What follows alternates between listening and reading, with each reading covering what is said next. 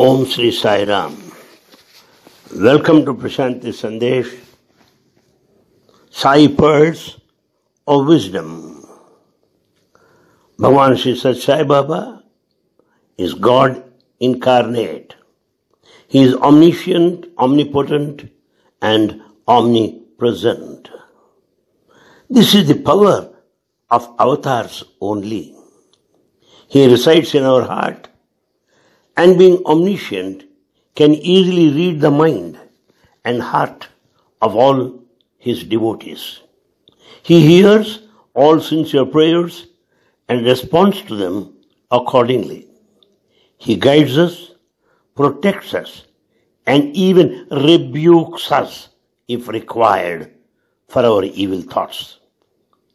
He picks up even the subtlest thought in the mind of his devotees. Well, let me share with you some stories. Diana Baskin. Diana Baskin is from United States of America. She came here along with her husband Joel and little daughter. All the three reached Puttaparthi. But Diana was very much tensed till they boarded the flight because the uncertainty in her husband's mind regarding coming to Puttaparthi for Swami's darshan. He was reluctant to come to Swami. Anyway, finally he boarded the flight and she felt relieved.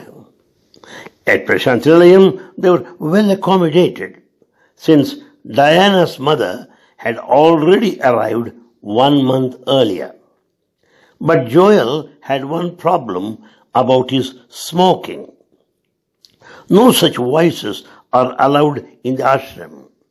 So next day he went out of the ashram along with his wife to the hilltop for a smoke. Sitting there and enjoying the scenic beauty from the hilltop, Joel suddenly shouted, Look, look at that beautiful rainbow. Diana turned her gaze towards the wondrous sight in the sky. The rainbow was a vertical line. Usually it's quite unusual. It vanished after some time. Joel, very excited by now, and said to his wife, Do you remember?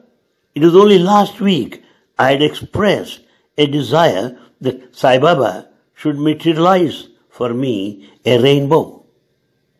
And Joel was under the impression that this desire was known only to himself, Diana and his friends in Los Angeles. But how can the omnipresent Sai not know about this? When both of them returned to the ashram, to their utter surprise, Kasturi welcomed them, saying, Swami has called you both for an interview tomorrow morning. Next morning they arrived in the interview room. As Swami came down to the steps, he laughed and he laughed aloud, saying, So, how did you like my rainbow? And patted Joel lovingly on his back. Joel was speechless. Tears started rolling down his cheeks. Diana too had tears in her eyes. Back home, when Diana pleaded with Joel to come along for Swami's darshan, he had put a condition that he would seek Swami's darshan only if Swami would show him a rainbow. See that. Swami, the indweller in every heart, knowingly fulfilled this condition. Swami took his seat and everyone sat around him. Joel sat right next to Swami. When Swami inquired after daughter's health, Diana told him that the child was suffering from a cold and a stomachache.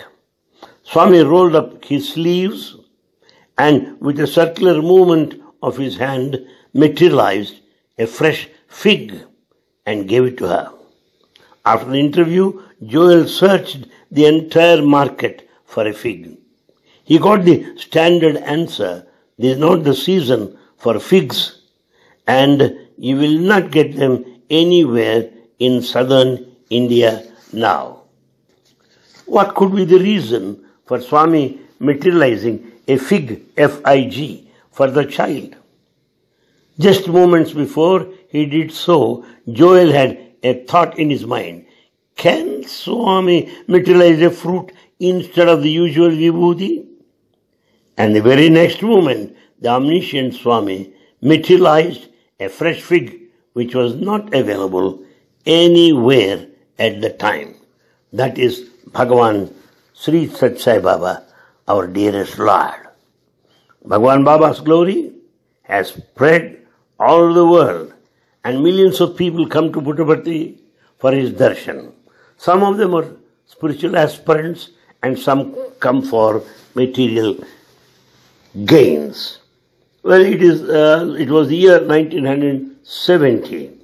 On hearing Bhagwan's Baba's glory, Sri Swami Virajananda, Virajananda Maharaj, who is now over 100 years old, arrived in Prasanthi Nilayam from Kashi. He was accompanied by 50 to 20 of his disciples. After having stayed in the ashram for about 20 days, he formed an opinion about Baba. Thus, what is it? See, Sathya Sai Baba is the god of foreigners and rich devotees. He is not an embodiment of love because if he were, he would treat everyone equally.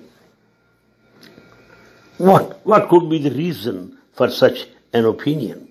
In those 20 days of his stay, Bhagwan Baba had ignored him completely. So Swami Virajananda decided to leave Prasanthi Nilayam and traveled back to Dharmavaram.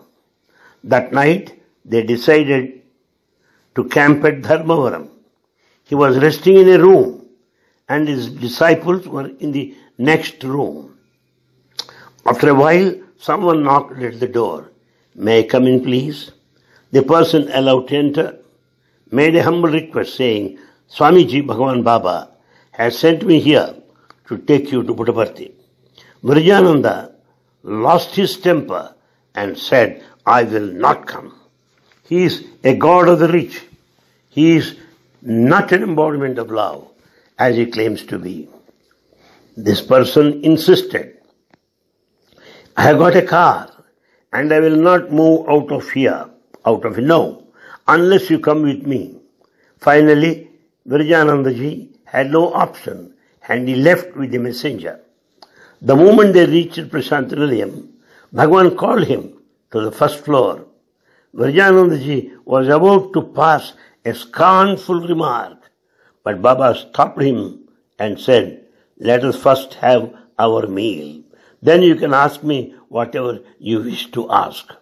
After the meal, Bhagwan Baba showed Swami Virajananda his right palm. On seeing the palm, Virajananda broke into sweat. He was all confused. What did he see in that palm? He saw all his disciples and his ashram in Kashi.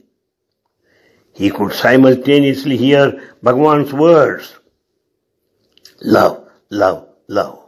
What is love? Do you think you can attain self-realization by abandoning your family and collecting thousands of followers? No. In fact, you are far from it. This is moha, infatuation. Only devotion and love takes you closer to God. Desires and worldly fame cannot take you close to God. On hearing Bhagwan's words, Swami Virajananda realized his mistake. He held on to Bhagwan Baba's feet and sought his permission to leave.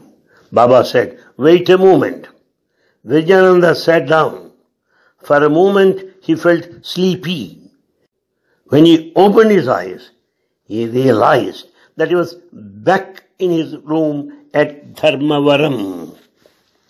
My friends, please note this point. All this had happened in Puttaparthi Swami's interview room.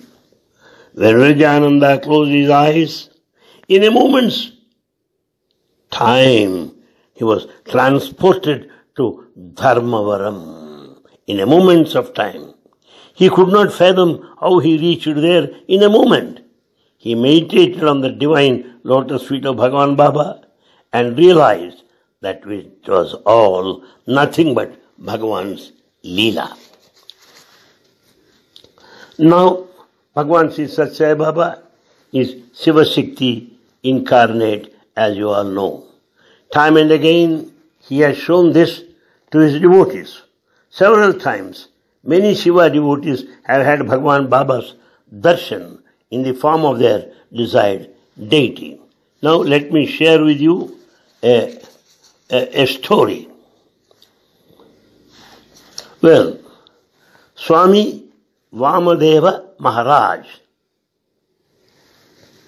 an enlightened soul, with a desire to attain liberation, Vamadeva Maharaj renounced the world and became a sannyasi. When he was 80 year, 85 years old, he felt that his body was now old and feeble, and any moment he may have to leave it. So with the aim to offer his body to the river Ganga and attain liberation, he traveled to Kashi. He meditated on the form of Paramasiva and jumped into the river Ganga. At that very moment, a miracle took place. He saw an effulgent deity with a crown of thick black hair on the head, Abhaya Mudra, a hand raised in blessing, and orange robe instead of ash smeared camphor like fair form of Shiva he was meditating upon. It vanished in a moment. Next there was another miracle. He was sinking deep into the water. He found that he was suddenly being pushed upwards by a powerful force and he started floating on the water like a wooden log. A strong wave emerged in the silent waters of Ganga. He was pushed towards the shore and once again Ganga Mata resumed its calm.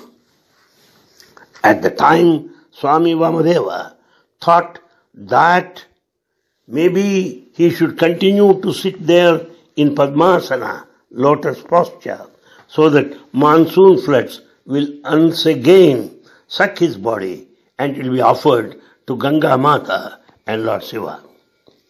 On the same night, a senior officer and also a Sai devotee had a dream. He dreamt that a sannyasi was sitting in Bhagwan's lap and Baba was feeding him with a laddu as if for a small child. Next morning, this army officer went for a walk along the shores of river Ganga and he happened to see the same sannyasi there whom he had seen in a dream the earlier night. He was none other than Swami Vamadeva Maharaj. Urgently, he hurried to him, offered pranams, and started recounting the dream and praising Bhagwan Baba. Listening to him, Swami Vamadeva said, Well, I have not seen you earlier. Isn't this your imagination? And this officer began to describe Bhagwan Baba's divine form. Swami Vamadeva recollected the vision and he had seen in the river Ganga. It was exactly the same. Vamadeva Maharaj asked himself, is this Sai Baba an incarnation of Shiva? His inner voice answered, spend some more time with these devotees. Find out some more about this Parameshwara and then be assured. Accordingly, Swami Vamadeva stayed there for some time on the Manik- Manikarnika, Manikarnika Ghat, uh, close to Ganga. He heard Bhagavan Baba's glory from the devotee and then he was convinced that this is Maheshwara and Sai were one and the same and spent rest of his life in meditating upon his Sai Maheshwara. This is the miracle of that saintly man. And in fact, when we try to know the story behind little bit, Sri Kondama Raju, a pious soul residing in the remote village of Puttaparthi in Andhra Pradesh, once had an extraordinary dream. It was divine and wondrous. He saw a de- deity of divine effulgence who, however, seemed distressed. She was Devi Satyabhama, Satyabhama, waiting for her Sri Krishna who had gone away. She was waiting for him. And she was waiting Krishna to bring parijata, parijata flowers. Day after day passed, but there was no sight of Sri Krishna. She was distressed and tears were flowing and from her eyes. It started raining heavily, but Satyabhama continued to wait, getting completely drenched. When Kondama Raju noticed her, she asked him to give her some shelter where she could continue her wait for Sri Krishna. The dream ended and Sri Kondama Raju made a resolve to build a temple for the Devi.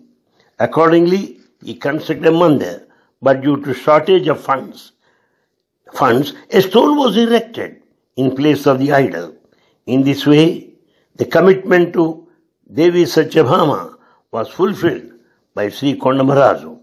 Puttaparthi becomes an abode of the Devi and therefore Bhagavan Sri Krishna had an incarnate, had to incarnate again in the village Parthi to meet Satyabhama who had been awaiting his arrival. Puttaparthi was formerly known as Gollapalli, meaning thereby the village of cowherds. Many cowherds, along with their wealth of cattle, lived in this remote village. One day, a strange occurrence took place. One cowherd noticed that one of his cows returned home in the evening after grazing with an empty udder. When this became an everyday feature, he sent out to find the reason behind it and he followed the cow. What he witnessed was unimaginable. A snake came out of the snake hill, rolled itself, rolled itself around the cow's hind legs and began to drink milk from the udder. The cowherd lost his temper and he picked up a heavy stone, hurled at it and the snake and killed the snake. Ever since this incident, cowherd families of Gollapalli gradually declined in numbers and snake hills proliferated all over. People believed it to be the curse of the dying snake. This of Gollapalli came to be called Puttavardhini, a a village growing snake hills. In this time to come, it was abbreviated to Puttaparthi. When the second incarnation of Sai took birth in this village, in no time, Puttaparthi was transformed into not only Gokulam but a heavenly paradise. Today, this village has prominent place on the world map and is a place of pilgrimage for millions of people around the world. Sai Ram, we'll meet again.